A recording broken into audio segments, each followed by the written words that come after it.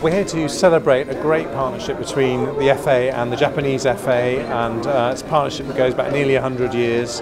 Uh, Japan is one of the great footballing nations of Asia. We are the greatest football nation in the world, so um, it's uh, it's a really nice thing that's happening here today, and uh, we're giving them a replica of the Emperor's Cup.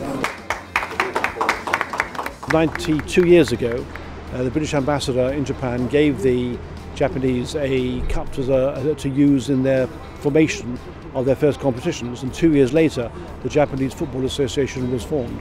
And that cup was in use until the war, and it disappeared during the war.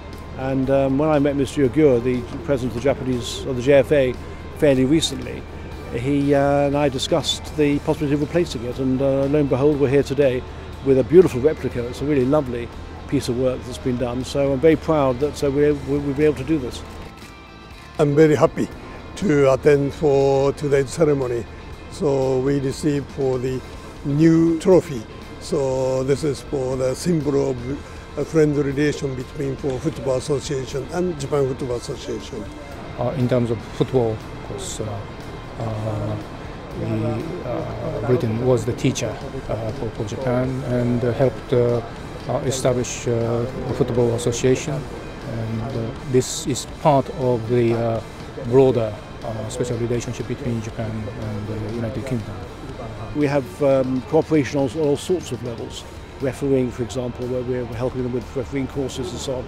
And we're looking to strengthen that and play some matches against them and uh, generally it's as it should be, two nations working together. Now they're very, very serious competitors in, in every tournament and uh, the ladies have just won the World Cup, their, their own World Cup the Japanese have just won the Asian Cup, um, so they are they are come, they've come a long way in a short time.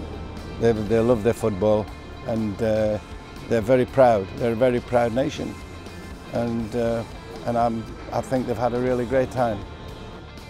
We will have a party for 12th of September. We will show this cup to Japanese people. Wembley is a symbol of football, so we are very happy to receive this trophy at Wembley.